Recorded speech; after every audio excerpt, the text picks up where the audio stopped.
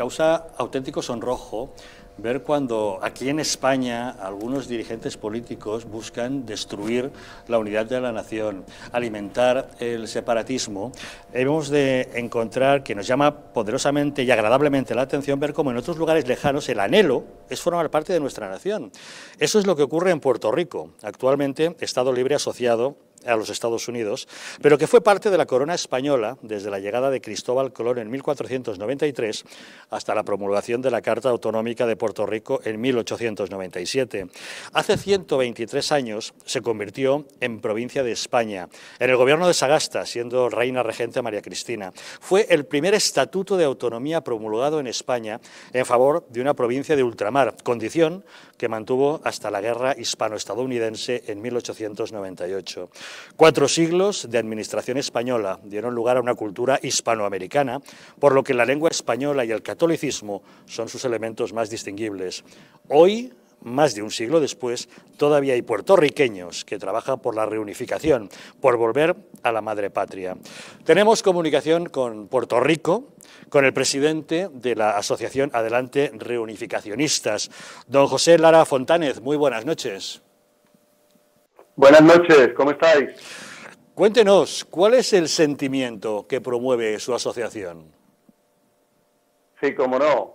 Comenzaré por daros un saludo por el Día de la Hispanidad, día que celebramos todos junto con la Madre Patria. Los puertorriqueños siempre hemos tenido en nuestro corazón este anhelo de regresar con la familia de la que fuimos separados tan violentamente y sin pedirlo por un invasor extranjero. Pero con el paso de los años, desde 1898 y la influencia estadounidense, eh, este tipo de cosas no se hablaba porque lo llamaban a uno loco, porque eh, sentía uno represalias en el trabajo, en la escuela, en la sociedad y desde el 2012-2014 nos hemos ido organizando las personas que seguimos pensando de esta forma, que hay que hacer justicia y que los puertorriqueños nunca nos quisimos separar de España, siempre fuimos la, la llamada isla siempre fiel, y el sentir es ese, regresar con la madre patria, regresar a donde debemos estar. Señor Lara, ¿y es mayoritario ese sentimiento español entre los puertorriqueños? Aunque muchos así no lo llamen, si se mira la cultura, si se mira la defensa del idioma, si se mira lo que algunos llaman la defensa de la puertorriqueñidad, los puertorriqueños somos una fabricación española. No había puertorriqueños en la isla de Boriquén hasta que llegaron los españoles. Con los españoles y el mestizaje, la fundación de Puerto Rico, surgen los puertorriqueños. Así es que todo aquel, todo aquel que se siente muy puertorriqueño, que defiende su cultura y su puertorriqueñidad, en realidad está defendiendo otra forma de ser español. Claro, 122 años de eh, manipulación y de mentira por parte del gobierno estadounidense y de sus lacayos aquí en Puerto Rico, han hecho a muchas personas creer que están mejor con Estados Unidos o que estarían mejor siendo independientes, cosa que es totalmente fuera de lugar. Como una isla como esta iba a sobrevivir sola. Sin lugar a dudas, para nosotros los españoles debería ser un orgullo absoluto que ustedes quieran volver a ser España. Pero yo le pregunto, ¿no están a gusto con su ciudadanía estadounidense, la que ostentan desde 1917? La ciudadanía estadounidense se impuso a los puertorriqueños, no se les preguntó, no se les pidió, se les impuso por una serie de razones que convenía a los Estados Unidos. Una de ellas era enviar a los puertorriqueños a la Primera Guerra Mundial y a todas las demás guerras en las que ha participado en vista de que somos nosotros eh, carne de cañón, soldados de ese país. Claro está que hemos tenido una serie de ventajas, como no tenerlas, si damos nuestra sangre por la nación estadounidense, en algo la nación estadounidense nos tendría que ayudar. Pero, ¿por qué razón Puerto Rico, por ejemplo, no es un Estado, llevando la ciudadanía un poco más allá? Sencillamente porque para ser un Estado tendríamos que ser anglosajones, cosa que obviamente no somos ni seremos nunca. Puerto Rico es una isla llena de gente que no es de la raza blanca, sino producto del mestizaje, gente que tiene una cultura mucho más antigua que la de los Estados Unidos, la cultura hispánica, una cultura fuerte, una cultura de grandes hazañas, una cultura de, muchos hechos, y precisamente como rompemos con el molde de lo que son todos los Estados Unidos, Puerto Rico no puede ser un Estado, tiene que mantenerse, como ellos lo quieren, en este eh, sistema eh, colonial que ellos llaman eh, territorio no incorporado porque no les conviene usar la palabra colonia, pero en realidad esa es la situación. Así que no se trata de que haya puertorriqueños que no estén o estén orgullosos de, de la ciudadanía estadounidense o que rechacen o no estén agradecidos de las ventajas. El que trabaja merece su salario, ¿no? El obrero merece su justo salario. Pero precisamente porque el puertorriqueño está despertando más allá, más allá de lo que es el dinero, de lo que es eh, una ciudadanía de segunda clase, que es lo que tenemos los puertorriqueños y todas las personas que vivimos en los territorios no incorporados de Estados Unidos, ya es hora de que nosotros superemos esto, ya es hora de que no tengamos que aprender idiomas extranjeros a menos de que lo queramos, ya es hora de que vivamos nuestra cultura y no una cultura impuesta desde fuera. Y eso es lo que estamos buscando en la reunificación. Volver a casa, volver con la familia, volver con la madre patria y desarrollarnos y desarrollar a la madre patria, porque es una, es una calle de dos días. Lo que Puerto Rico puede dar a España y a la Unión Europea como contacto en las Américas y lo que Puerto Rico puede recibir de España y de la Unión Europea como una provincia autónoma de ultramar otra vez. Don José, ¿y no le parece irónico que mientras algunos como ustedes desde América están anhelando volver a ser España, nosotros aquí en España tengamos que ver cómo algunos de nuestros políticos buscan la ruptura de la unidad nacional y el secesionismo de algunas de nuestras regiones? Definitivamente que es irónico, pero aquí vamos a la individualidad, vamos a personas y a sus intereses, intereses que van por encima de la unidad nacional de la identidad nacional, de quienes son y somos los españoles. Precisamente es un gran problema que tenemos en Puerto Rico también, aunque somos una colonia, con la división y el, lo que llaman la partitocracia que tenemos aquí entre los que quieren la estabilidad y los que quieren la independencia. Eh, precisamente es un serio problema el que tiene España, pero no es una razón para nosotros desanimarnos y no querer reunificarnos con España. Volvemos que es cosa individual. Son personas que ponen sus intereses por encima de los demás. No quieren una unidad, no quieren un progreso. España siempre ha sido una gran nación, la primera de Europa, la que llegó a darle la vuelta al mundo, la que hizo tantas y tantas cosas, pero hay muchos españoles, lamentablemente, igual que hispanoamericanos, que todavía están muy influidos muy influidos y dominados por la leyenda negra, una cosa que tenemos que desaparecer. Señora Ana Fontanes, un último detalle. ¿Qué gestiones están ustedes haciendo? ¿Creen que realmente sería factible lograr esa reunificación? Definitivamente creemos que es muy factible lograr la reunificación. Sabemos muy bien que esto es un proyecto, que esto no es algo que va a pasar pasado mañana, pero tenemos muchísima simpatía en distintos sectores dentro de España porque estamos los adelantes reunificacionistas de Puerto Rico y España de este lado, y del otro lado del Atlántico tenemos a reunificacionistas.org, que se encuentra en España. Y tenemos gente promoviendo, promoviendo, educando, formando en ambos lados. Tenemos, por ejemplo, comunidades que por cuestiones culturales están muy, muy con nosotros. La comunidad canaria, por ejemplo, la comunidad andaluza, en donde la simpatía por eh, sentir la sangre llamar, eh, puertorriqueños y canarios y andaluces y extremeños, eh, es muy fuerte. Así es que nosotros estamos en este momento en una fase de educación y formación dentro de Puerto Rico, en la diáspora de los Estados Unidos, y esto lo hacemos a través del Internet, de páginas, de un informativo que tenemos todos los domingos, que este servidor presenta a las 2 de la tarde, hora de Puerto Rico, en donde se analiza una serie de temas relacionados a la reunificación y a los problemas que tenemos en la isla también. Pero eso estamos haciendo, estamos en una fase de educación que continuará y crecerá y después nos tiraremos a la calle para continuar con, con esto. Pues les deseamos lo mejor en ese empeño, que sin duda es un orgullo para todos nosotros. Don José Lara Fontánez, portavoz de la Asociación Adelante Reunificacionistas, muchísimas gracias por haber acercado Puerto Rico a España en un día tan especial como hoy.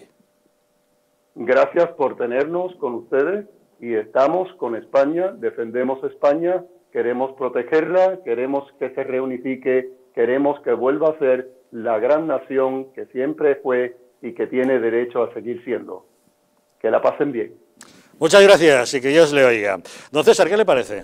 Bueno, pues yo creo que es el claro ejemplo de, un territorio eh, de tradición española que ha conocido las dos caras de la, misma, de la moneda, ¿no? Ha visto el modelo anglosajón y ha visto el modelo español y ahora siente anhelo por, por el modelo español porque comprende que viene, viene eh, aparejado con una serie de ventajas, eh, por ejemplo el sentimiento colectivo, el sentimiento de formar parte de, un grupo con una cultura milenaria como, como, como, es la, como es la española y la europea y entonces, en ese sentido, yo creo que él conoce muy bien, eh, es un grupo de personas que, están anhelando algo que es totalmente razonable. Lo que yo no acabo de comprender es cómo los, eh, los propios españoles, eh, o por lo menos desde luego nuestros políticos, no tienen esa ambición de, de mirar, mirar a posibilidades como la de Puerto Rico, o mirar posibilidades como todo el mercado de, de, Hispanoamérica, ¿no? como posibilidades comerciales, posibilidades diplomáticas, culturales. No, no acabo de comprender por qué, por qué, los políticos españoles viven de espaldas a, a, todo, a todo un continente, a todo un continente que tenemos con el cual tenemos una afinidad absoluta. Lo comentaba antes don Pablo, esa gran alianza hispanoamericana sería un potencial, ¿no? un auténtico imperio comercial,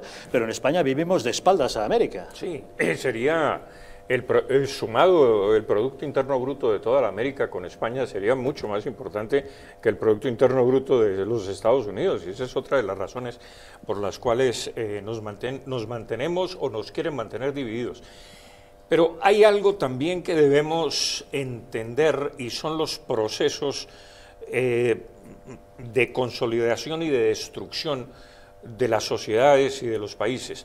Estados Unidos, con el tal destino manifiesto de los Estados Unidos, se expanden geográfica y económicamente sobre los antiguos territorios hispanos, quitándole dos terceras partes o una tercera parte a México, el 60% del territorio mexicano, y llegan al Océano Pacífico, eh, es decir, expanden sus fronteras económicas, geográficas, políticas y sociales. En cambio, en América ocurre todo lo contrario. Eh, se echa a los españoles de América y los países que antes eran un bloque unitario, que era un solo país dividido en provincias españolas, que no eh, colonias, se fraccionan, ponemos aduanas en las fronteras, eh, ya no podemos transitar dentro de la propia América, es decir, nos convertimos en rivales unos de otros y hemos encogido las fronteras geográficas, políticas y sociales de la América a la inversa de lo que ocurre en los Estados Unidos. Eh, eso, eso, esa, esa es una consideración bien importante. Pero la segunda es que mm, este movimiento puertorriqueño también se está gestando en la Argentina. Y, de pronto yo también quisiera participar y voy a participar activamente en este gran empeño, así no lo veamos en nuestros días, pero en las generaciones futuras tendrán que entender este problema político. Pero hay algo sustancialmente importante de lo que hizo España en el mundo y no se nos debe olvidar el mundo no era redondo. España le dio la redondez al mundo. Sí, señor. Don Juan José, irónico, ¿no? Que en Puerto Rico sean más españoles que muchos de nuestros propios políticos. Sin duda alguna. Muchísimo más eh, irónico, absurdo por completo lo que nos ocurre a nosotros. Pero bueno, es un, es un camino, es un camino. Decía que en Argentina también, Argentina efectivamente nace donde nace el concepto de la madre patria. No es ni español ni esto, es argentino curioso y casualmente en Argentina, después de, tener allí detrás de la Casa Rosal, detrás de que es la estatua de Colón, decidieron muy recientemente retirarla, retirarla porque era un genocida, al parecer, después de haber sido ellos mismos los que han promovido todo el concepto de madre patria y, de, demás. Y es muy cierto que la, que la economía de toda Iberoamérica sería un boom, lo era con España. Hay que recordar que la renta per cápita de Nueva, España era exactamente la misma que la de Estados Unidos cuando se independiza. Hay que recordar que Lima, Bogotá, México tenían más renta per cápita que París, Roma, Londres. Sin embargo, todo eso en 200 años se ha venido abajo, y se ha venido abajo precisamente por esa forma de asumir esa leyenda negra, creernos la campaña de nuestras potencias extranjeras, etcétera, etcétera, etcétera. Pero bueno, y reconforta, y reconforta mucho lo de Puerto Rico, que duda cabe. Ojalá siga el ejemplo. Ojalá lo consigan, para empezar. Sí, yo, yo creo que, Puerto Rico tiene una ventaja respecto a Argentina, ¿no? que comentaba, que es que no, tiene, no carga en sus espaldas con esta élite criolla que quiere perpetuarse, quiere seguir explicando que, que, bueno, que los desastres que, que, han organizado la balcanización de Sudamérica no tienen que ver con ellos, ¿no? sino que tiene que ver con los malvados españoles que estaban anteriores a ellos. Yo creo que este argumento es, sumamente absurdo, ¿no? Es como si, como si en, la, en la Edad Media nos tira por culpar a, a Roma de, su propia caída, ¿no? La, la, la, caída de Roma provoca en toda Europa una gran balcanización, pueblos que habían estado juntos se separan y, por separado vemos claramente que son un desastre absoluto y creo que es lo que pasa en Sudamérica. En Sudamérica eh, se pierde el árbitro, se pierde la gran potencia hegemónica y entonces todos los países eh, se empiezan a enfrentar entre ellos, se empiezan a fragmentar y esa, esa lucha, ese enfrentamiento es lo que da lugar a la ruina. Entonces tenemos a, unos políticos criollos que están intentando explicar la ruina de sus países, pero sin eh, saliéndose ellos de la ecuación, lo cual es imposible. Echando la culpa a otros. Y echándole la culpa a otros. Pues hombre, la verdad que hay que estar muy orgulloso y eh, desde aquí felicitar a esa asociación, a nuestros hermanos, por querer eh, volver a casa, él lo ha dicho. Volver ha empleado el término, volver a casa. Exactamente, volver a casa. Es, es, algo tan bonito. En estos momentos que estamos viviendo, pues que, prácticamente los que quieren destruir la nación española, eh, pues están dirigiendo los destinos de nuestra nación. Ver que hay zonas donde compartimos pues todo, la sangre, la cultura, el idioma y todo, que quieren volver, pues es un principio de esperanza. Eh, bueno, recientemente se ha, celebrado en, precisamente en México el primer Congreso de la, de la Hispanidad. Desde aquí felicito a, nuestro querido Amadeo y a Nuevos Tercios que lo han organizado. Y ha sido eh, también multitud de personas del conjunto de, Hispanoamérica las que han participado reivindicando esa, esa nueva unión. La gente, mientras exista gente así, que puedan lanzar ese mensaje, mientras exista una pieza de esperanza, todo es posible lo que tenemos que hacer es constantemente, digamos, lanzar ese mensaje, ese mensaje de que somos un mismo pueblo, un mismo pueblo con unos mismos padres y madres, somos una familia y eso es lo que ha hecho esta asociación, recoger sus, eh, su legado, el de sus antepasados y decir nosotros no pertenecemos a este mundo anglosajón. Hay que recordar con la guerra del 98 Puerto Rico no fue conquistado, seguían combatiendo y de hecho la guerrilla de, Puerto Rico siguió combatiendo. Eh, bueno, pues se entregó Puerto Rico, se conquistó por la fuerza, pero lo que ha dicho él, Puerto Rico nace de la unión de España, de ese mestizaje, pero es que Hispanoamérica la actual Hispanoamérica nace precisamente de, la llegada de los españoles, de llegada de, negros, de, indios, etcétera, etcétera, etcétera. O sea, Hispanoamérica no existiría sino por lo, llegada de los españoles, si no es por este día. Si este día no llega Colón a San Salvador, a, las, a las islas de las Bahamas, pues seguramente existiría otra cosa. No existiría el señor Obrador, a lo mejor se existiría a lo mejor un señor Obrador pues anglosajón o germano o lo que fuera. Por eso es tan importante, o sea, es que esto, lo que no entienden estos analfabetos es que estamos haciendo un homenaje a nuestros antepasados, a nuestro legado, a lo que somos ahora. Porque no podemos explicar lo que somos ahora sin, sin entender lo que ha pasado. ¿De dónde venimos? Exactamente. Entonces, eh, es tan importante reivindicar este día como algo excepcional. Yo creo que hay que empezar a reivindicarlo no desde un punto de vista ni imperialista y nada, sino desde un punto de vista cultural. Cuando cojamos y conquistemos culturalmente este concepto, conquiste de nuevo todos los rincones de España y de Hispanoamérica, volveremos a tener esos lazos de unión que verdaderamente nos llevará a un punto más. Yo veo a España Mm, buscar más la unión con Hispanoamérica que buscar la unión, por ejemplo, con Europa. A mí no me identifico tanto yo con un francés, un alemán, un irlandés o un señor de Dinamarca, me identifico más con un señor de México, un señor de Puerto Rico, un señor de Ecuador, de Colombia, etcétera, etcétera, etcétera. ¿Por qué? Porque ya está construido, o sea, la civilización sobre la que vivimos ya está construida de antemano. Lo de Europa hay que construirlo sobre civilizaciones totalmente diferentes. Y además hablamos la misma lengua que se ha mencionado. Exactamente.